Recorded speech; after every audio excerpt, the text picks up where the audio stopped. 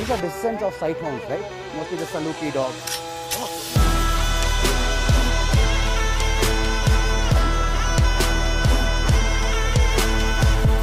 But the body kind